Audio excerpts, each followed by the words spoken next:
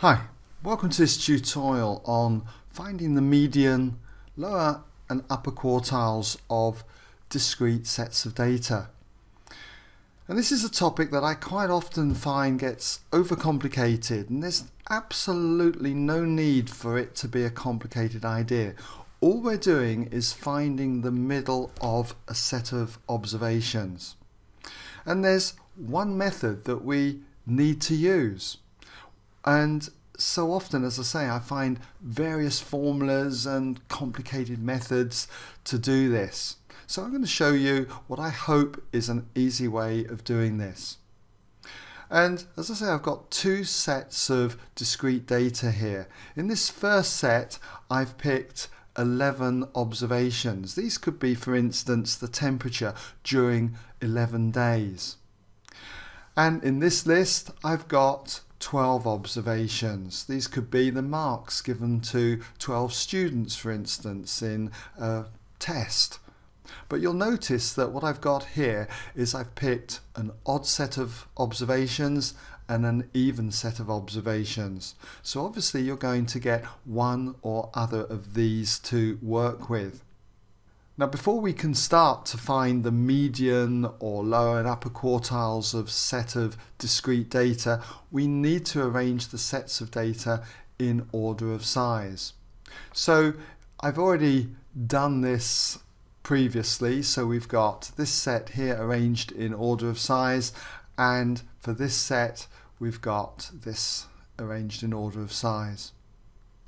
Now when it comes to finding the median, it's the value, the observation in the middle of your list of data. Now I know that these lists are so small that when it comes to finding the middle of a set of data, quite often you see people just counting one from that end and one from that end and working their way gradually in towards the middle. Well, okay, with a small set of data, that's going to be fairly straightforward, but this is a method that I'm going to show you that is designed to cope with any set of data, especially those large sets where it becomes very impractical to keep ticking off values at either end. So, let's go with finding, first of all, the median, the median of each set of data. And to get the median, we need to find the position that it's going to be in. And the median is often called Q2. You'll see that around Q2. So to get the position that it's going to be in, let's just put position. Okay. What we do for any list of data, whether it's odd or even, to get that position, we just add up the number of observations we've got 11 in this case and 12 in this case, we add 1 to that value and we divide by 2. Okay, so for this one we've got 11 plus 1 is 12, 12 divided by 2 is 6. So we're looking at the sixth value, the sixth value in. That will be the middle. So let's just find out where that's going to be. 1, 2, 3, 4, 5, 6. It's going to be this value here the 16. So that is Q2. Okay, Q2, the median is 16. So let's just write that in that therefore Q2, okay, which equals the median, right? You don't have to write that in, but Q2, which is the median, equals 16. Now something strange happens when we deal with an even set of numbers. Let's just put up here again the median Q2. I say something strange, it's not really something strange, but just a bit different from what we've got here. If we're working out the position, okay, then we've got 12 numbers in this case, add 1 and divide by 2. So what we've got this time is 13 divided by 2, which is the sixth and a half value. Six and a half value. So where is the six and a half value? Well, clearly you can't get physically a six and a half value. If we come in from the end here, we go one, two, three, four, five, six and a half. It's going to be in between the 9 and the 12. That's our position for Q2. But if we're trying to find out the value that's in between two numbers, what we do is we find the mean of them. In other words, we add them together and divide by 2. So when it comes to finding the median here, therefore Q2, which we know is the median, is going to equal 9 plus 12 divided by 2. In other words, we find the mean of those two numbers. 9 and 12 is 21, divided by 2 is 10 and a half, 10.5. And we don't round this up or anything like that, okay? So we've got the median for an odd set of numbers and how we find the median for an even set of numbers. Okay, but what doesn't change is if we're trying to find the middle of a list of numbers, all we need to do is just add 1 to the number of observations and divide by 2. Okay? Now, what happens if we're finding the lower quartile? Let's just write this in here, the lower quartile. The lower quartile, by the way, is often written as Q1. And if we're finding the lower quartile, what we've got to do is take our list of numbers. So in this list of numbers, it's the set 4, 6, 10, 14 and 15. And in this example, it's 2, 3, 5, 5, 7 and 9. So we need to find the position of the middle of those two lists. Well, in this set of numbers, okay, if the median happen to be the sixth value, there must obviously be five numbers to the left of it. We can count them obviously in this example. It's very quick. But when you've got a large set of numbers, it should be just obviously one less than what you've got here, the number of observations to the left of it. So you've got five values to the left of the median, and we've got to find the position of the middle of that list. So the position of the middle of a list of numbers is going to be the number of observations, which is 5, add 1 and divide by 2. So in other words, you've got 6 divided by 2, which is going to be equal to the third value.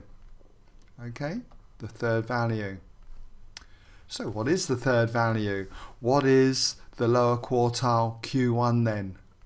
Well, Q1 is going to equal one, two, three. We come into here. It's got to be the 10. There we go. Q1. Dead easy. Just the middle of a list of numbers. So Q1 is going to be 10. There we go. Now when it comes to this example, why don't you just pause the video and have a go at trying to find then the lower quartile for this set of numbers. And I'll give you a moment just to try it, come back when ready and we'll run through it. Well, welcome back if you did have a go. Let's just uh, go about trying to find that lower quartile then. So we need to find the position that it's going to be in lower quartile Q1. That position then is going to be given by the number of observations to the left of the median. Well, the median was uh, at six and a half, the six and a half value and so therefore there's going to be six values to the left of it. So we need to do 6 plus 1 divided by 2 and that gives us 3.5. So it'll be the 3.5 value. Just squeeze that in there. So what is the three and a half value? Well, we just come in one, two, three and a half. It's going to be in between those two fives. So when it comes to working out what that is, I need to take the mean of them. So Q1 is going to be equal to 5 plus 5 divided by 2.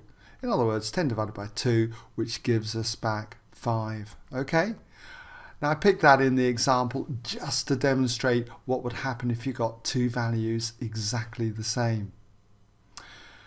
Okay, well I hope you got that part. Now we've got to go on and find the upper quartile. So if we're looking at the upper quartile and for the upper quartile we often call that Q3. So the upper quartile is Q3.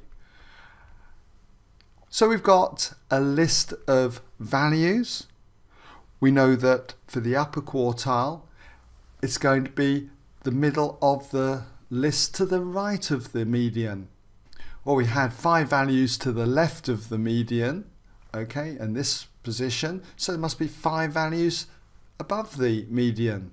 So in other words, the position must still be the same as the position for the lower quartile, the third value in, but only this time from the top end. So I will write this in, okay, as being the position equals 5 add 1 divided by 2. Okay, we're finding the middle of a list of values. So it's going to be the third value but it's the third value in from the top end, not the lower end, okay? So we come back three values in from the upper end, one, two, three, and there we have it, Q3. Q3 is the 18 then. So therefore, Q3 equals 18. So what about you trying to have a go this time finding the upper quartile for this list of numbers? Okay, I'll leave it to you. Just pause the video, have a go and come back when ready. Okay, welcome back. Let's see how you got on. So for that upper quartile then, let's just put it in. Upper quartile Q3. Then the position of it is going to be given by, well, same as what we had here for the lower quartile. It's the three and a half value in. So for this, okay, we'll just put the position, okay, again, we have a total of six values to the right of this value here, okay, of the median. So therefore the position's got to be 6 plus 1 divided by 2 in other words, three and a half value in from the top end rather than the lower end. Obviously, you don't really need to write this if you worked it out for the lower quartile. But nonetheless, okay, if we're looking for what Q3 is going to be equal to, 1, 2, 3 and a half, it's in between the 15 and the 18. There's Q3. So we've got to work out the mean of those two values. So it's going to be equal to 15 then plus 18 and divide that by 2. 15 plus 18 divided by 2 comes to 16.5. So there you go, there is your upper quartile. It's also worth mentioning that uh, if you need to find the interquartile range, let's just write that in, interquartile range, then the interquartile range is a measure of spread, the difference between the upper quartile and the lower quartile. In other words, it's going to be Q3 minus Q1. And Q3 minus Q1 for this example would be 18 minus 10. 18 minus 10 and that's obviously going to leave us with 8. When it comes to the interquartile range for this one, let's just write it as IQR, interquartile range. Again, it's going to be Q3 minus Q1. And in this example, it's going to be 16.5 minus the 5. Okay, so that leaves us with 11.5. So the interquartile range.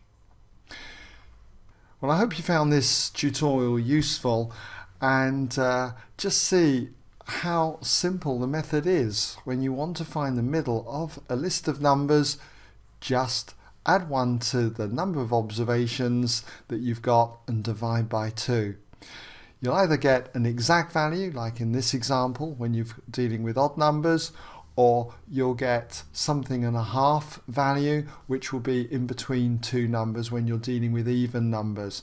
And all you do is just find out the mean of those two numbers either side of it. A really simple idea. So I hope as I say that that proves useful to you and that you don't need to rely on really complicated formulas then to work out these values Right, well that brings us now then to the end of this tutorial. And the best place to always look at my tutorials is on my website rather than my YouTube channel. If you're doing an exam, chances are there'll be a specification written out there for you with links to videos or you can just look in my main index to look under various tutorials. Okay,